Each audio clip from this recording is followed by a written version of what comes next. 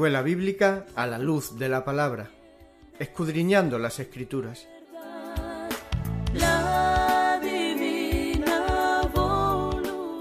Luz a las Naciones, canal cristiano de comunicación, presenta a la luz de la palabra. Un estudio expositivo de la palabra de Dios, una presentación minuciosa de toda la escritura. Porque es inspirada por Dios y útil para enseñar, para redarguir, para corregir, para instruir en justicia, a fin de que el hombre de Dios sea perfecto, enteramente preparado para toda buena obra.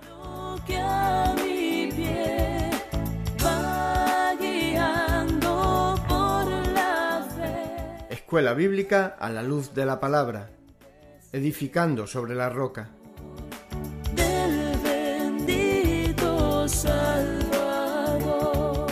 Primera carta del apóstol Pablo a Timoteo, por Juan Luis Vadillo.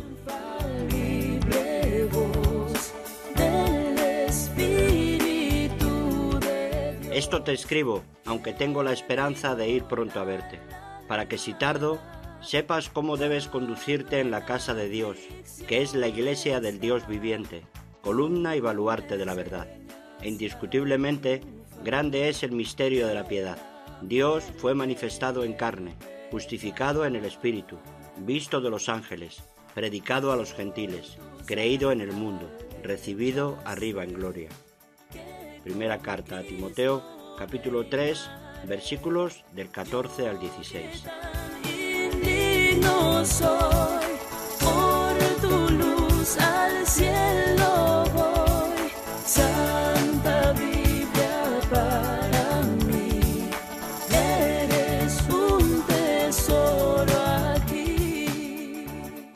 Buenos días a todos y bienvenidos. Vamos antes de exponer la palabra, como siempre, y dando gracias a Dios por este domingo que nos brinda de poder estar juntos como iglesia y poder adorar a Dios en, en espíritu y en verdad, como nos enseña la propia palabra, y tener el lugar, ¿no? el tiempo. Esto es muy especial ¿no? Eh, en los cristianos, donde no solamente lo tenemos, sino que lo deseamos, ¿no? deseamos ese tiempo de poder adorar a Dios en, espíritu y en verdad, y juntos, con manos juntos a la palabra de Dios en armonía. ¿no?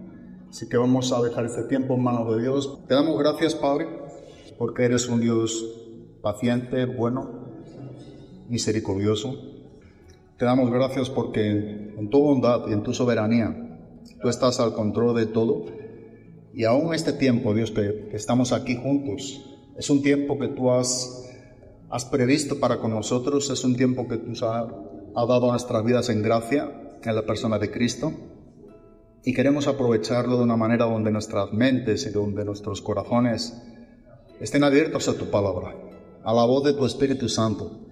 Señor, que tu palabra es puesta y que la persona de tu Espíritu Santo en nosotros nos haga entender estas grandes riquezas, para que podamos ser más edificados como iglesia, para que podamos ser más como Cristo. Te adoramos a ti Dios y te damos la gloria y la honra Dios y te pedimos que tu nombre sea el protagonista y tu persona en esta mañana, que todo cuanto hagamos y digamos sea hecho la persona de Cristo Jesús y para tu única gloria. En el nombre de Cristo. Amén. Vamos a seguir con, con la clase que vamos a dar en continuidad con lo que venimos estudiando en la primera carta del apóstol Pablo a Timoteo, en el capítulo número 3, versículo número 16. Y me gustaría que pudiéramos enfocarnos en este, en este pasaje del 14 al 16, donde estamos, como bien hemos dicho en otras clases, haciendo tres preguntas a este texto. Y la pregunta que estamos haciendo es, ¿qué es la iglesia? Ya hemos visto. Y no solamente qué es la iglesia, sino quién es el dueño de la iglesia. La segunda pregunta, que también hemos visto, tiene que ver con cuál es el propósito de la iglesia, cuál es la misión que tenemos como iglesia, también hemos visto. La Biblia nos enseña en este mismo pasaje que somos columna y sostén de la verdad. La iglesia levanta en alto la palabra de Dios, sostiene la verdad, que es el techo de la misma. Pero estamos haciendo una tercera pregunta a estos versículos, a estos tres versículos, con respecto al mensaje que la iglesia también tiene. Entonces, ¿cuál es el mensaje de la iglesia? Y la iglesia tiene un mensaje que no es fuera de las escrituras. Y esto debe de animarnos y debe de llevar a nuestra vida esta responsabilidad. O sea, nosotros como iglesia tenemos un mensaje para el mundo, pero no es un mensaje fuera del Evangelio. Y, y es un mensaje que no solamente encontramos en el Evangelio, sino que de manera muy especial en los versículos del 14 al 16, sobre todo en el versículo número 16, encontramos seis puntos de que el Espíritu Santo nos está enseñando la relevancia de estas grandes verdades doctrinales. Y el mensaje de la Iglesia para nuestros días, para con el mundo, tiene que ver el primer punto que hemos estudiado con que Él fue manifestado en carne. O sea, la relevancia de que el Dios eterno, el Hijo eterno, vino a este mundo y se hizo hombre y habitó entre nosotros. Y no solamente habitó entre nosotros, sino que murió en medio de nosotros, en medio de la humanidad, con un propósito, con un plan del Padre. Y era que pudiera morir en esa cruz para que nosotros por medio de esa muerte podamos a la misma vez disfrutar de una salvación a través de la resurrección de entre los muertos. O sea, Cristo es hecho pecado por nosotros. Cristo es hecho maldito por nosotros, porque solamente de esa manera es que nosotros podemos ser salvos, por medio de su muerte, por medio de su resurrección. Ahora, esto es algo sumamente importante. Pero no solamente vimos el primer punto de que Él fue manifestado en carne, sino que también nos enseña contemplado, ¿por qué? O en este caso justificado o indicado, perdón, por el Espíritu. Así que dijimos también que el Espíritu de Dios es, digamos, el autor de ese testimonio, declarando inocente, ¿verdad? dando testimonio de Cristo. ¿Cómo es que Él vino a este mundo? Cómo el Padre decía que este es mi Hijo amado en el cual tengo complacencia y a Él oír. Entonces ese es el segundo punto que vimos. Pero vamos a, seguir hacia adelante porque tenemos un tercer punto, después de que vamos a leer estos versículos del 14 al 16, y nos enseña la palabra de Dios, dice, te escribo estas cosas esperando ir a ti pronto, pero en caso que me tarde te escribo para que sepas cómo debe conducirse uno en la casa de Dios, que es la iglesia del Dios vivo, columna y sostén de la verdad. Y ahora en el versículo número 16 es, el que estamos estudiando, dice, e indiscutiblemente grande es el misterio de la piedad. Él fue manifestado en la carne, vindicado en el Espíritu, contemplado por ángeles, proclamado entre las naciones, creído en el mundo, recibido arriba en gloria. El misterio de la piedad, que es el mensaje que Dios tiene para con la iglesia, este tercer punto que nos está enseñando que es contemplado por los ángeles, está posteriormente después de que Dios ha sido encarnado, Él fue manifestado en carne, justificado, indicado en el Espíritu, y ahora dice la palabra de Dios que esto es algo contemplado por los mismos ángeles. Y la Biblia tiene también mucho que enseñarnos con respecto a este punto, que tiene que ver con el mensaje que tú y yo tenemos como iglesia para el mundo, que es el misterio de la de la piedad y que dice que es algo indiscutible. Dijimos que esta palabra es donde todos los cristianos estamos de acuerdo, estamos unánimes en estas verdades doctrinales, porque estamos hablando la misma cosa, que es lo que significa la palabra homologeo. Indiscutiblemente, algo indiscutible, decimos lo mismo. Estamos hablando del mensaje del cielo. Y precisamente el mensaje que tenemos como iglesia para este mundo es el mensaje que Dios nos enseña desde el cielo. No como cada quien interpreta a su manera, sino como lo tenemos escrito en la palabra de Dios. Así que es un mensaje donde tú estamos sumisos a lo que tenemos escrito. Y por eso es tan importante saber lo que Dios nos ha dejado como legado en su palabra. Y poder estudiar las doctrinas bíblicas para que no haya engaño ninguno para poder presentar con mansedumbre y reverencia ante todo aquel que demande razón alguna por la esperanza que nosotros tenemos en Cristo, la palabra de Dios. Así que ahora nos está enseñando, dice, contemplado por dos o por ángeles. Esto es algo donde nosotros podemos ver desde un principio cómo hay un desarrollo, podemos verlo a- a, digamos en orden hasta cronológico o secuencial, desde un principio cómo los mismos ángeles eh, fueron testigos, contemplando lo que Jesús estaba llevando a cabo como ministerio en esta tierra. Ellos fueron esos testigos también oculares. Esos seres eh, eh, espirituales fueron quienes realmente estaban avalando también lo que Cristo mismo en los días de su carne, en su ministerio, desde antes de nacer, Jesucristo, concebido por el Espíritu Santo, en una mujer llamada María, ya cuando se anunciaba esta verdad para con el mundo, ellos fueron los que anunciaron esta verdad. Ver los ángeles en, en estos eventos secuenciales es importante porque la Biblia nos está enseñando sobre ello. Tal vez nosotros a modo de lectura en nuestro diario vivir no reparamos mucho en ello, pero cuando estudiamos este tercer punto del misterio de la piedad, contemplado por ángeles, nosotros podemos y debemos dirigirnos a la palabra de Dios y, y ver en su contexto a qué hace referencia aquí el apóstol Pablo y qué nos está enseñando el Espíritu Santo, no solamente a modo de conocimiento, sino también a modo aplicativo. ¿Qué nos enseña hoy la palabra de Dios con respecto a este punto doctrinal? Y es un conjunto donde nosotros tenemos un mensaje para con el mundo, donde el mensaje es Jesucristo, Jesucristo crucificado. Así que nosotros podemos ver esta gran verdad de lo que nos enseña la palabra de Dios. Y esto es algo trascendente, es importante que lo podamos ver. Y a la misma vez, también es algo lógico. Nosotros podemos ver que no es nada ilógico, que no es nada insensato. No, es algo muy lógico, porque nosotros vemos a través de toda la palabra de Dios que inclusive este es su público en el tercer cielo. ¿verdad? Digamos que, para poner una calificación, este es el público en ese lugar del tercer cielo donde ellos pueden y han visto, ¿verdad? Y vieron al Hijo de Dios en cuanto a cómo espíritu pudieron sentir estar en su presencia, adorándole. No vieron la manifestación del Dios hombre, por eso es algo extraordinario lo que ellos vieron, anunciaron, vieron, contemplaron. ¿Por qué? Porque esto es algo donde nunca había existido.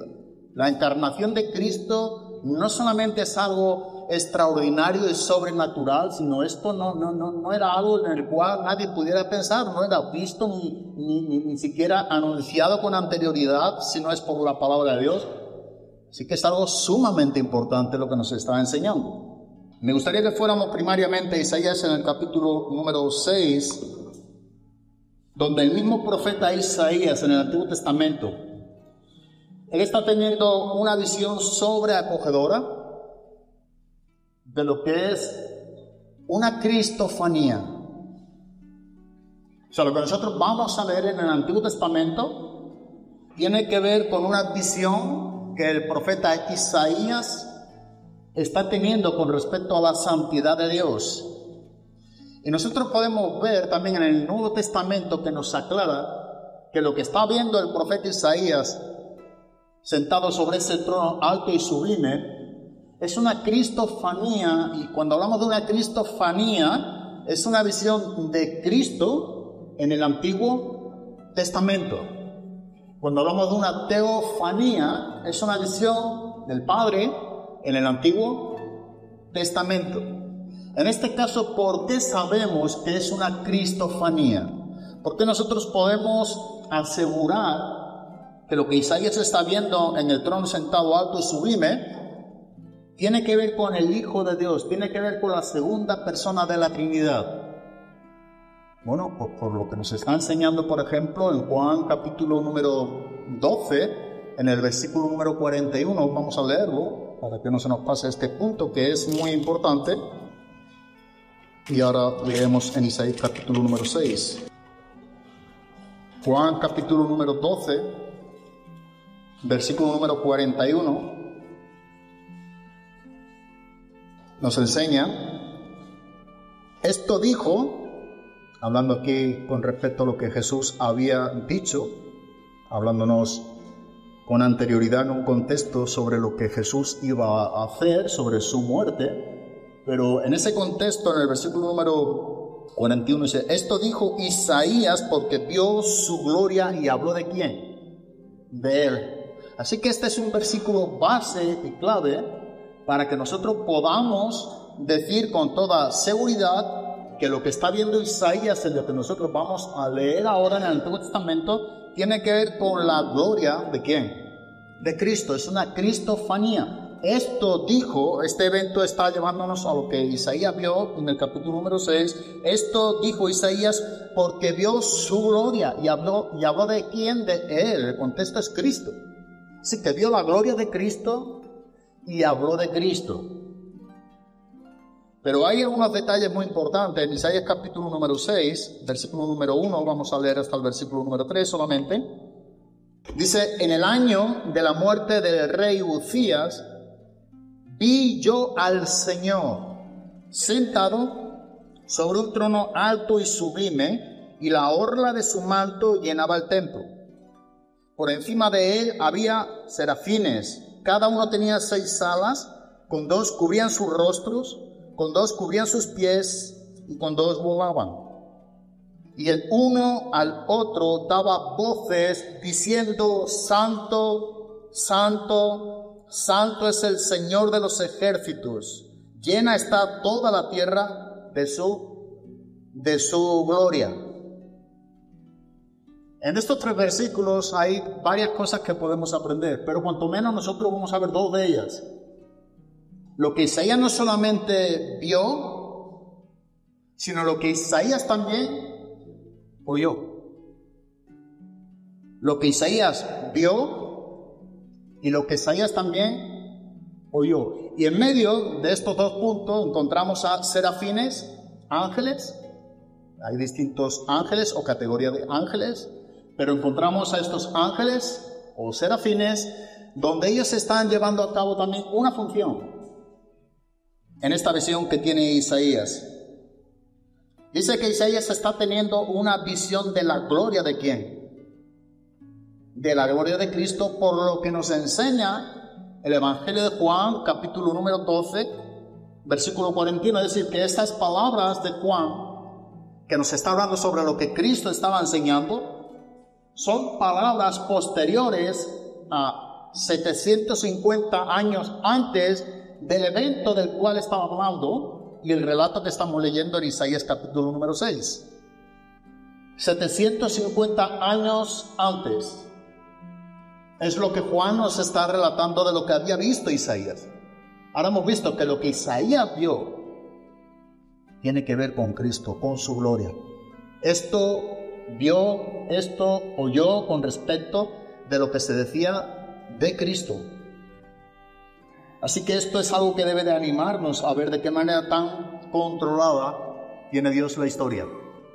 Pero volvamos nuevamente a Isaías porque lo que está viendo Isaías en este caso primariamente, dice en el versículo número 1, que vi yo al Señor sentado sobre un trono. Isaías primariamente está viendo, Dios permite en su soberanía mostrar la gloria de Cristo, de manera que nosotros no podemos describir hasta donde la Biblia nos está enseñando, sí, pero podemos meterlo en esta expresión verbal como nos está enseñando, que vio su gloria, vio su santidad, una manifestación de la santidad de Dios con todo su esplendor, sentado sobre un trono alto y sublime. Él está viendo esta manifestación de Cristo en el Antiguo Testamento. Es una cristofanía, pero es en el versículo número 3 también. No solamente vemos que lo que nos enseña Isaías es lo que él vio, sino que también nos enseña lo que oyó. Y en el versículo número 3 nos enseña, el versículo número 2 y 3, dice que por encima de él había serafines, cada uno tenía seis alas, con dos cubrían sus rostros, con dos cubrían sus pies y con dos volaban. Y el uno al otro daba voces diciendo, esto es lo que Isaías está oyendo. Santo, santo, santo es el Señor de los ejércitos. Llena está toda la tierra de su de su gloria. Él ve lo que nos enseña el versículo número uno, versículo número dos, él oye. Isaías está viendo, Isaías está oyendo. Pero nota también aquí en el versículo número 2 que nos está hablando de serafines. Es decir, que cuando hablamos de, de estos seres celestiales, estamos hablando del público de Dios. Estamos hablando de aquellos que estaban contemplando la gloria de Dios, que han contemplado, que han adorado a Dios en ese tercer cielo. Pero precisamente en ese contexto de que los ángeles son tremendamente sorprendidos cuando ellos pueden ver posteriormente la encarnación de la segunda persona de la, de la Trinidad. O sea, imagínate que ese evento es algo que se nos escapa de nuestra mente. Hay cosas donde nosotros no llegamos. Yo trato muchas veces de imaginarme, de pensar, de ilustrar muchas situaciones de las que leo la palabra de Dios, pero a veces llega uno a conjetar donde eso no siempre es bueno. A veces hay imagen en la Biblia que nos, que nos permite poder para nosotros mismos tener una conjetura, eh, pero no siempre es bueno. Entonces debemos de siempre, siempre eh, llegar hasta donde Dios nos permite llegar. En este punto lo que, lo que realmente vemos aquí es que los ángeles vieran, como nos enseña el texto, contemplaran a Cristo, no es poca cosa. No era algo normal. De hecho, era algo que jamás había sucedido. Porque jamás con anterioridad eh, Cristo, la segunda persona de la Trinidad, había sido encarnado. O sea, la encarnación tiene que ver con la historia de la humanidad de nuestros días. A nuestros días, si estamos en el año 2024, ese es el tiempo que ha marcado la historia de la humanidad, la encarnación de Cristo. Ese es realmente el tiempo en el cual se está contando los días, como hemos dicho muchas veces, en antes de Cristo, después de después de Cristo. Entonces, para estos ángeles tuvo que haber sido algo sorprendente lo que nos enseña Pablo escribiendo a Timoteo. Visto por ángeles, contemplado por ángeles. Esto tuvo que haber sido algo que se nos escapa totalmente de nuestras mentes. Y busqué algunos puntos donde he tratado que sea algo secuencial, más o menos que fuera uno después del otro de los eventos donde aparecen tales ángeles. Me gustaría que fuéramos, estuve leyendo en Lucas, están en diferentes evangelios, pero vamos a leer como nos enseña Lucas, capítulo número uno, a qué hace referencia el apóstol Pablo cuando dice que fue visto por ángeles o contemplado por ángeles. Esto nos tiene que llevar a un punto bíblico para que nosotros podamos dar credibilidad en nuestros corazones sobre lo que nos está enseñando la Biblia. O sea, la Biblia nos enseña que fue contemplado por ángeles y no se sabe nada cómo fue esa contemplación, ¿no? Nos lleva a eventos múltiples donde sí que nos enseña y vemos a qué hace referencia este punto sobre lo que es la contemplación de los ángeles. El primer evento que nosotros podemos ver en función a la encarnación de Cristo en paralelo o en vinculación con los ángeles tiene que ver con el capítulo número 1 de Lucas, versículo número 26, Lucas 1, versículo número 26. Dice, y al sexto mes el ángel Gabriel fue enviado por Dios a una ciudad de Galilea llamada Nazaret, a una virgen desposada con un hombre que se llamaba José, de los descendientes de David y el nombre de la Virgen era María. Esto es historia. Y entrando el ángel le dijo, salve muy favorecida, el Señor está contigo, bendita eres tú entre las mujeres. Pero ella se turbó mucho por estas palabras y se preguntaba qué clase de saludo sería este. Y el ángel le dijo, no temas, María, porque has hallado gracia delante de Dios. Y he aquí concebirás en tu seno y darás a luz un hijo y le pondrás por nombre Jesús.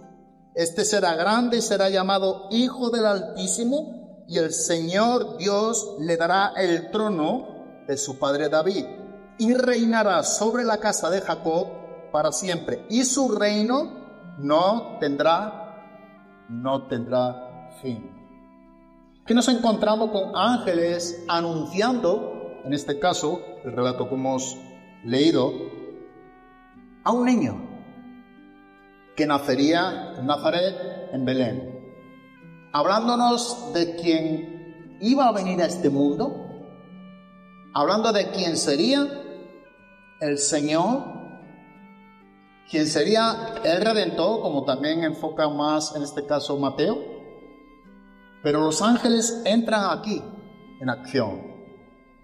Y ellos pudieron contemplar, posteriormente también lo vemos, a este niño cuando nace de María, concebido por el Espíritu Santo, ellos pudieron contemplar este niño, este bebé, envuelto, como dice la palabra de Dios, ¿en qué? En pañales. Eso lo está contemplando los ángeles. Eso es lo primero que nosotros podemos ver. A un niño envuelto en pañales, a un niño como nos enseña la palabra de Dios, acostado en un pesebre, con lo que es la forma de un niño, literalmente es un niño, un niño inocente, que necesitaba atención, que necesitaba cuidado. Dice en el capítulo número 2, aquí mismo en Lucas donde estamos, en el versículo número 8, hablando de este evento, en la misma región había pastores que estaban en el campo cuidando rebaños durante las vigilias de la noche, y un ángel del Señor se les presentó y la gloria del Señor los rodeó de resplandor y tuvieron gran temor. Mas el ángel les dijo, no temáis porque aquí os traigo buenas nuevas de gran gozo que serían para todo el pueblo. Porque os ha nacido hoy. Este es el evento. Este es el día. Este es el cumplimiento de lo anunciado también por el mismo profeta Isaías, entre otros. Pero aquí dice, hoy se ha cumplido porque os ha nacido hoy en la ciudad de David un Salvador, que es Cristo el Señor. Los ángeles no solamente están anunciando, están viendo a un niño, sino que están, están viendo y anunciando al Señor. ¿A quién? Al, al Salvador. No es un niño corriente en el sentido como otro de los niños, no. Él es el Dios encarnado. Pero dice, es hoy que ha nacido en la ciudad de David un Salvador que es Cristo el Señor. Y esto servirá de señal. Hallaréis a un niño envuelto en pañales y acostado en un pesebre. Y de repente dice, apareció con el ángel una multitud de los ejércitos celestiales alabando a Dios y diciendo, ángeles en este evento, Gloria a Dios en las alturas y en la tierra paz entre los hombres en quienes Él se complace. Este es un evento tremendo que normalmente hablamos o predicamos de este pasaje en fechas navideñas. Pero aquí encontramos a los ángeles anunciando el nacimiento de un niño, quien sería el Señor, quien sería el Salvador. Y no solamente a quien anuncia como un ángel, sino a la multitud de ángeles en ese momento, en ese evento, en la encarnación de Cristo, donde están alabando a Dios, contemplado por ángeles, visto por ángeles. Pero no solamente en este primer evento, hemos expuesto, sino que ese niño crece. Jesucristo lleva a cabo un ministerio. Pero cuando comienza su ministerio, ese mismo niño que ha crecido, el Dios encarnado, tiene un suceso que ocurre en el desierto, pero en ese desierto la palabra de nos enseña que también fue tentado por Satanás, pero socorrido, ayudado, obtiene sus ángeles. Dice Mateo capítulo número 4. y nos enseña cómo estos ángeles también pudieron ver no solamente el nacimiento, como hemos visto, y su anuncio, sino que pudieron verle sometido a tentaciones como un hombre, que nos enseña la palabra de Dios. Pero para servirle luego de que Satanás fuese, o fue mandado por él para que se apartase. Entonces vemos nosotros en Mateo capítulo número 4, versículo número 11, situándonos un poco en su contexto y destacando para que tengamos en mente el versículo que quiero resaltar, es el versículo número 11, que dice que el diablo entonces le dejó, dice, y aquí ángeles vinieron y le servían, le socorrieron. Estos son los ángeles que también Pablo hace aquí referencia con respecto a que pudieron ver, pudieron contemplar en este evento también de la tentación. Pero no solamente vemos que estos ángeles contemplan a este niño nacido en Belén, sino que también vemos aquí en el desierto, en la tentación, estos ángeles también socorriendo y sirviendo a Cristo sino que también si vamos un poco más adelante en la historia del tiempo cronológico de Cristo, antes de llegar a la cruz, hay un suceso que es sumamente especial, que se llama el Getsemaní, es un huerto, antes de que Cristo fuese crucificado. Y él está orando al Padre. Es decir, él se va a encontrar con una situación donde para él no solamente era algo difícil que lo era, sino algo que se le escapaba de las manos, como hijo de hombre. Era algo que jamás nunca había experimentado, tiene que ver con una agonía que la Biblia misma nos enseña, una agonía, un estar al límite. Esa agonía tiene que ver con nuestro Señor en un lugar, en Getsemaní, en ese lugar que significa el prensado de aceite un lugar de muchos olivos.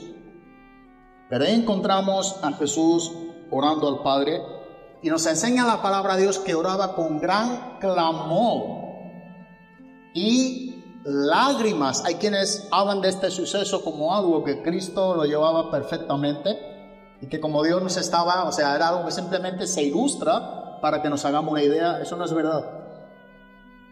Eso no es verdad el Dios encarnado, está sufriendo aquí todo el sufrimiento que pueda sufrir una persona. Y hasta tal punto que dice la palabra de que describe que Él derramaba como grandes gotas. Así que esto es algo verídico.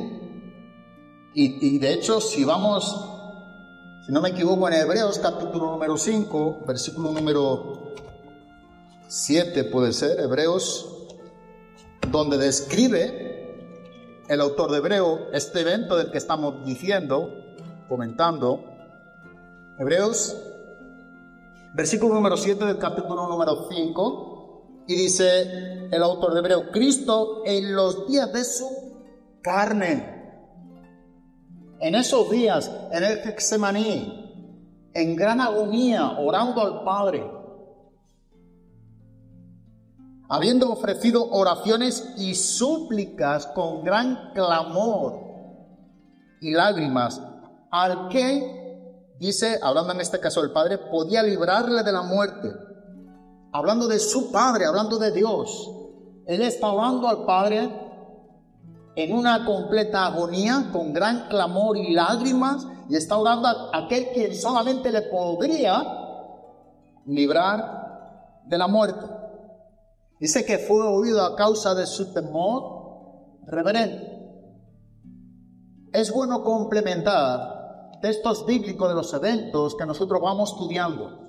Debemos de hacerlo para sacar una correcta interpretación, hemos dicho en estudios de hermenéutica, ¿no? Es un, es un punto en el cual no podemos pasarlo. Estudiar en su contexto nos lleva de frente lugares de la palabra de Dios. Dentro de ese mismo contexto histórico, en Lucas, debemos de acudir también a lo que nos enseña el autor de Hebreos, porque está haciendo énfasis a ese evento del Getsemaní. Cuando Jesucristo está orando al Padre con una gran agonía, con lágrimas, con un gran clamor, orando por ese, por ese evento que se venía por delante, como era la muerte, como era el sufrimiento, como era la cruz, y no solamente por esa muerte física, porque no es eso lo que nos ha salvado y no es ese el temor que realmente se apoderaba de Jesús, sino realmente el temor que se apoderaba de Jesús era la separación que iba a tener posteriormente del Padre, que eso sí que jamás había estado como algo experimental en la vida de quién? Jesús. Haciéndose pecado por nosotros, en ese momento siendo hecho maldito por nosotros, cargando con el pecado de toda la humanidad. Bueno, la Biblia dice que por sus llagas dice también el apóstol Pedro, sacando el otro pasaje 750 años antes de Cristo del mismo profeta Isaías en el capítulo número 53, hablando en un contexto sobre el siervo sufriente, sobre Cristo. Por sus llagas fuimos sanados. Dice que todo el pecado que fue cargado sobre sobre él.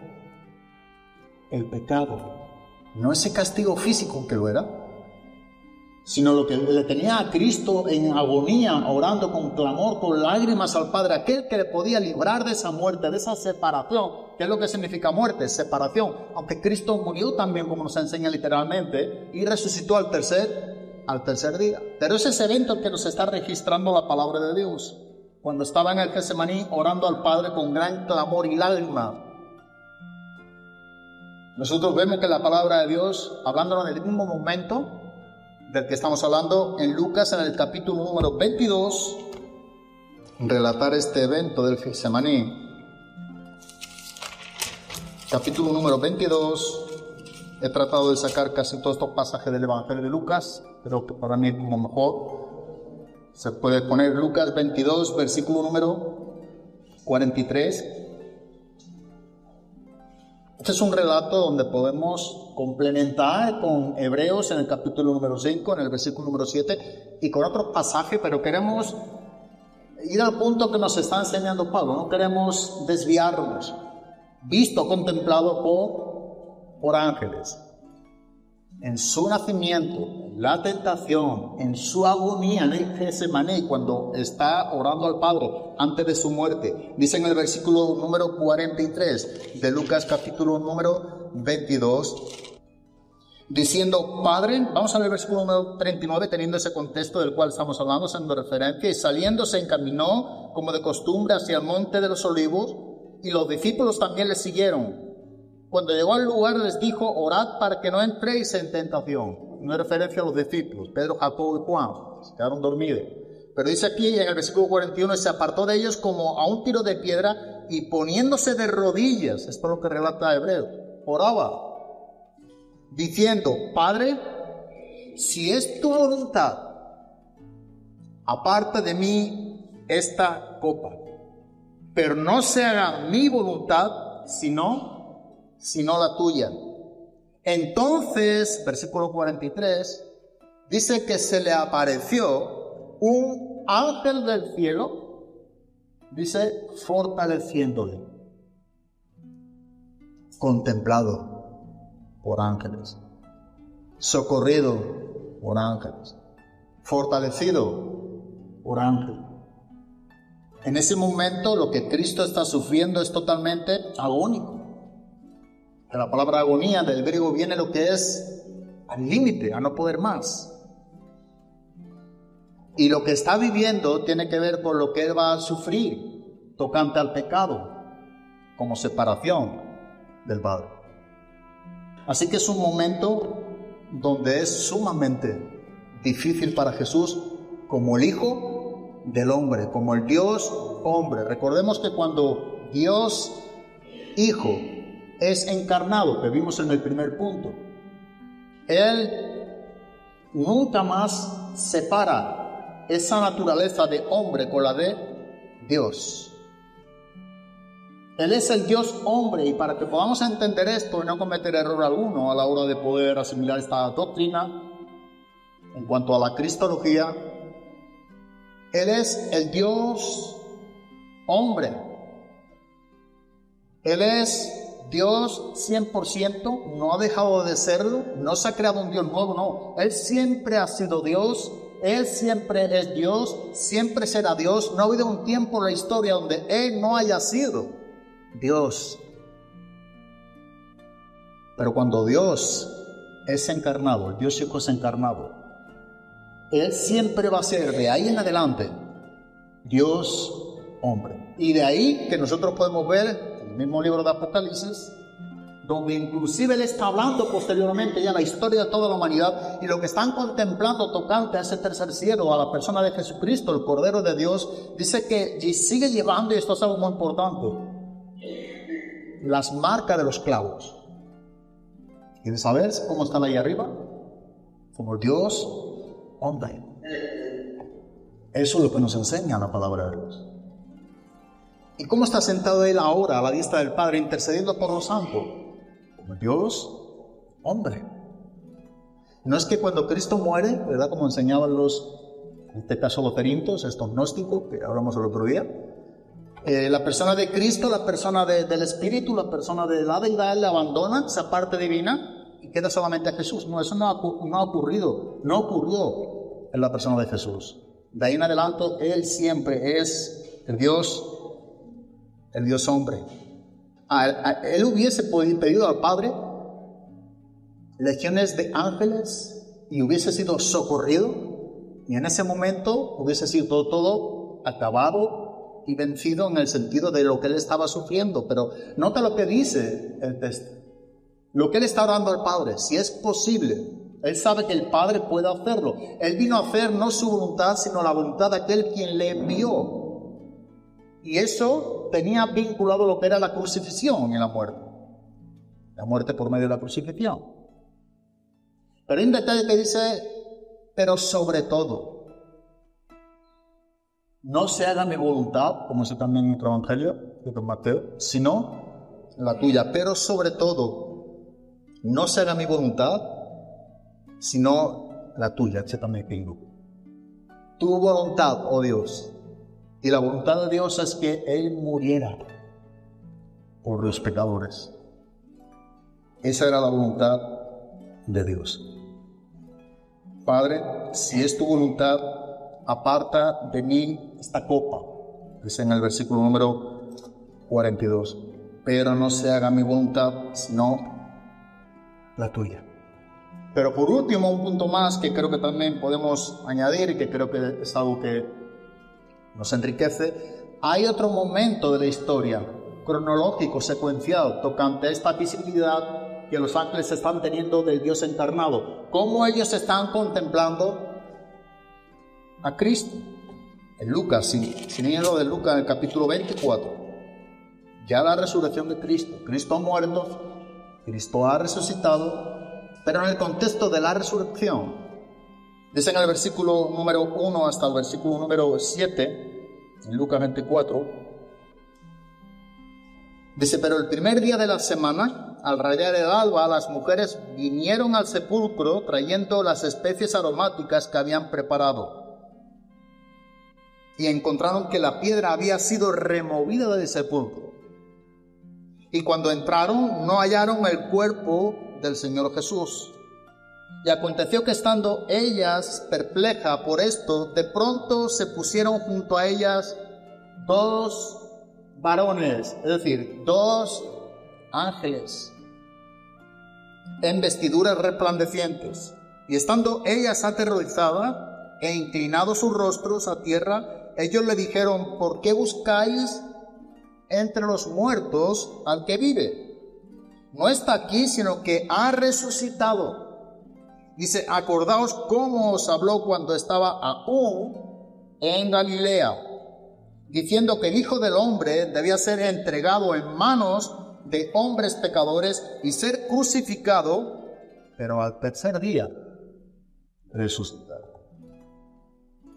Así que nosotros encontramos que estos ángeles también están aquí en acción, están en medio de esta resurrección, en medio de estas mujeres.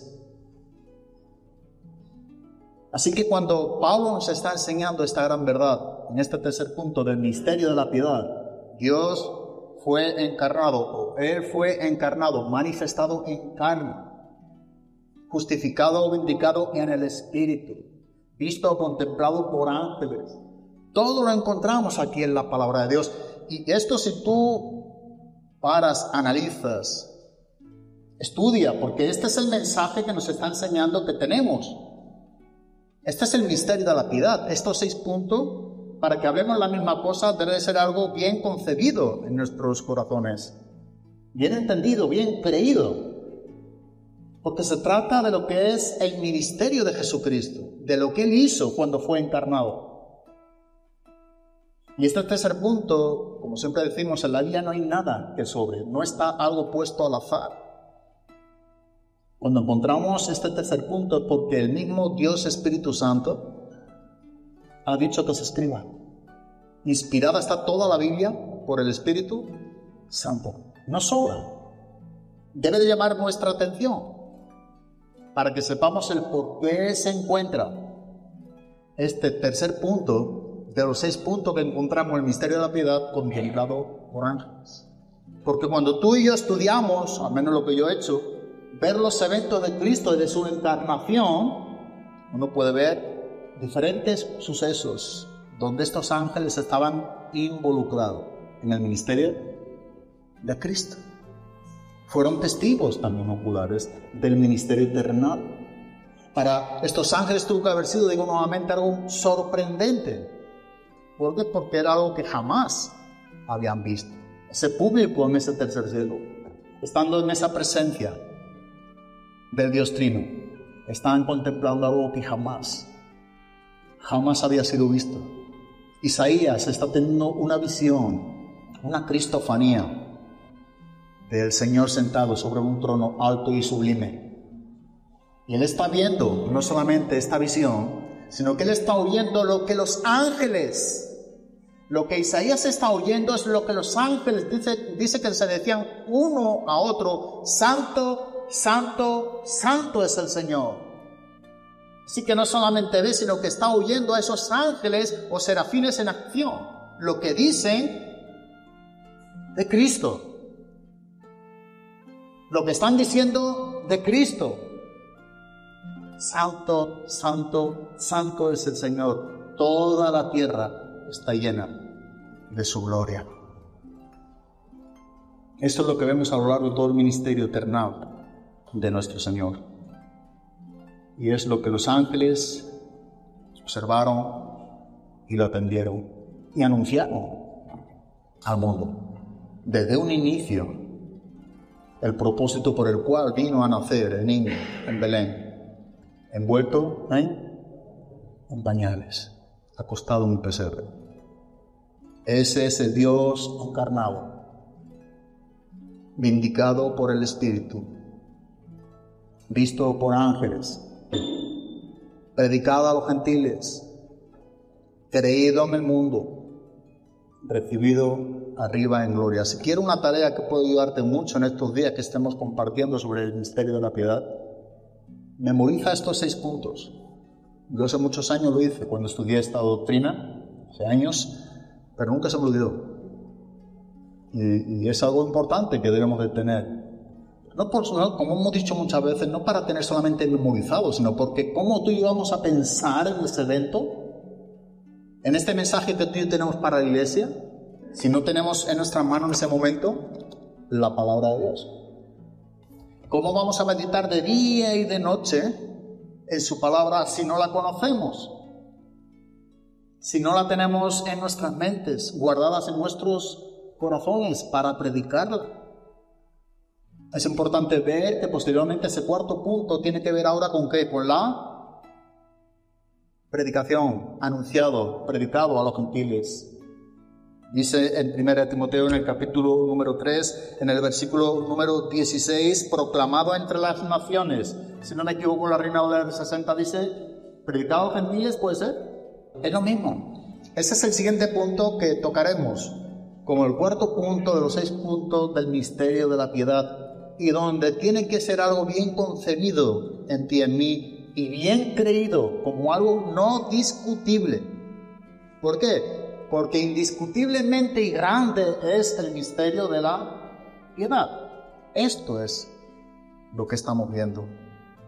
Una proclamación del Evangelio entre las naciones, una creencia en el mundo, creído en el mundo, y posteriormente veremos el último de los y recibido arriba en gloria. Recibido arriba en gloria. Señor, te damos gracias, Padre. Te damos gracias por tu palabra. Damos gracias por tu enseñanza, por tu verdad. Señor, que tu verdad nos gobierne, nos dirija, nos enseñe. Que podamos ser conscientes de la grandeza de lo que tú has hecho a favor de todos nosotros en cuanto a la persona de tu Hijo Jesucristo. Señor, gracias. Gracias por esa encarnación de Cristo. Señor, gracias por esa vindicación del Espíritu sobre Él. También gracias por, por, estos testigos oculares, por estos ángeles que pudieron contemplar el evento de Cristo sobre la historia de su humanidad aquí en la tierra. Te damos gracias, Padre, porque sabemos, creemos y estamos convencidos de que tú tienes mucho más para con nosotros y es todo aquello de lo que tú nos sigues anunciando en tu palabra. Es la seguridad de que estamos esperando esa esperanza de gloria que tenemos, estamos esperando, esperando el regreso de Cristo. Por eso a ti clamamos, por eso a ti te adoramos, te glorificamos. Obra tú poderosamente en nuestras mentes y en nuestros corazones, Dios. Te damos gracias por todo lo que tú eres, haces, obras poderosamente en cada una de nuestras vidas. Gracias porque tú sigues siendo un Dios que ama a este mundo que sigue teniendo ese, ese, ese momento de paciencia esperando a que se arrepientan, que se vuelvan a ti, Cristo. Ayúdanos a, a tener esto no solamente conceptuado y algo agradecido para con nosotros, sino como una demanda que tenemos también para anunciarlo al mundo, para que otros puedan creer lo que también nosotros hemos creído. En el nombre de Cristo Jesús. Amén, Padre.